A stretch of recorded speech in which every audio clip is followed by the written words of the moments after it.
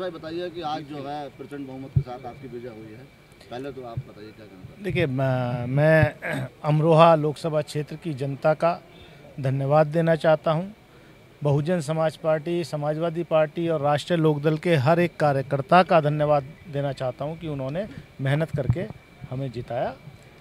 यहाँ का ये मेरा एक सौभाग्य है कि मैं एक राजनीतिक कार्यकर्ता होने के नाते, एक किसान परिवार से आने के बावजूद अपने विपक्ष के ऐसे प्रत्याशी को हराया जो हज़ारों करोड़ के मालिक हैं। तो ये जनता जनार्दन का फैसला है, उसको मैं बहुत ही हम्बली स्वीकार करता हूँ। और जो किसानों ने, नौजवानों ने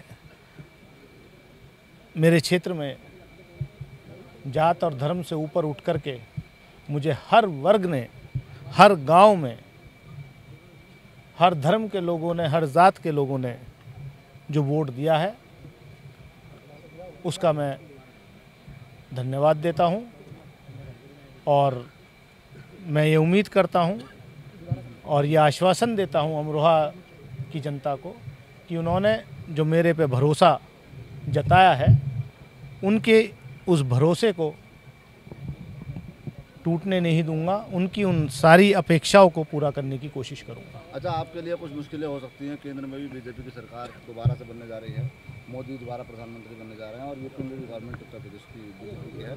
तो ऐसे में अमरोहा के विकास को अगर बात की जाए तो आप उसके लिए क्या अपना मतलब योजना तैयार करेंगे क्या करेंगे? देखिए एक सांसद होने के नाते जो अधिकार मुझे मिलेंगे उन अधिकारों का अमरोहा क्षेत्र की जनता के हित में अपने संवैधानिक दायित्वों का इस्तेमाल करूँगा। कर्नाटक के अंदर आपकी एक अहम भूमिका रहती है राजनीति के अंदर। तो अमरोहा से आज आप पहली बार सांसद चुन के जा रहे हैं। अमरोहा के लोगों को काफ़ी एक उम्मीद है बड़ी उम्मीद कि अमरोहा के लिए कुछ खास होगा। तो क्या ऐसा प्लान कुछ सोचा होगा कुछ शेयर करना चाहें? अभी बहुत वक्त है अभी तो सर्टिफिकेट हाथ में आने दीजिए। लोकसभा में जाने दीजिए। जो इस देश में लोकतंत्र बचाने के लिए लोकतंत्र मज़बूत करने के लिए और अमरोहा लोकसभा क्षेत्र की में विकास करने के लिए जो संभव होगा वो मैं अपनी भूमिका निभाऊँगा। एग्जिट पोल लगभग लगभग सटीक बैठा है। पचास से साठ के बीच में बीजेपी की सीटें आ रही हैं उत्तर प्रदेश में। और पूरा पूर्व मोहम्मद अब ये बहुत ही डिबेट का सवाल है। मैं व्यक्तिगत तौर पर कभी भी ओपिनियन पोल्स और एग्जिट पोल्स का समर्थक नहीं रहा हूँ। मेरा ये मानना रहा है हमेशा कि ओपिनियन पोल्स जो हैं ओपिनियन मेकिंग पोल्स होते हैं।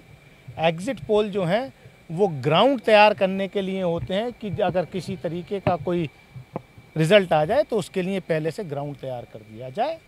और ये सट्टा बाज़ार का एक बड़ा खेल है एग्जिट पोल मेरी अगर चलेगी संसद में मैं इस सवाल को उठाऊँगा कि ये सब बैन होना चाहिए, लोकतंत्र के लिए अच्छा नहीं है।